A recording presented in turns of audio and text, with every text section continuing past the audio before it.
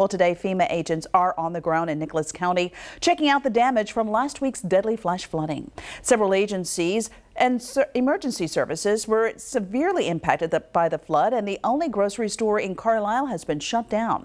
But officials tell our Sophia Millar they have a plan in place to make sure the county has the essential services it needs. That's the focus of tonight's LEX 18 Big Story at 530. I want you to take a look here. This is where the water reached on one of the Nicholas County fire trucks. Officials tell me that they've already drained about two and a half gallons of water out of the motor, but they still can't get the truck to start.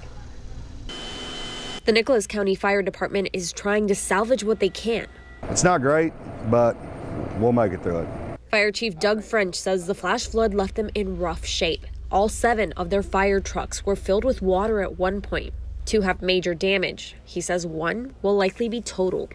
We are a small community. We are a small county. We don't have the tax base to just go out and buy the trucks that are damaged. The one truck is a $700,000 truck. Down the road at Emergency Medical Services. We're still assessing the damage, but we've lost two of our four ambulances. A third ambulance is at the mechanic. EMS Director Tim Smith says he believes they'll be able to get it back up and running again.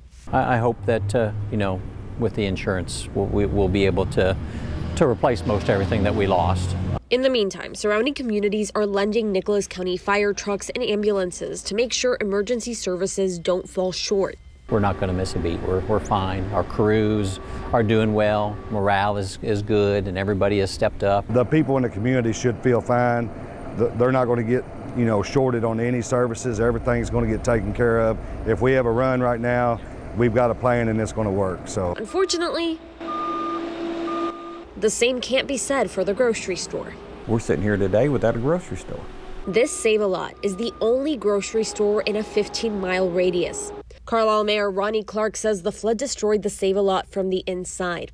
It will have to be rebuilt, which could take several months. If you wanted uh, to buy a five pound hamburger, it's not here. If a loaf of bread, Yes, but again, you're down to $2 stores and a couple service stations. In the aftermath of the flood, several organizations stepped up to offer free food to flood victims. But just like the borrowed fire trucks and ambulances, it's a temporary solution to a bigger problem. In Nicholas County, Sophia Millar, LEX 18 News.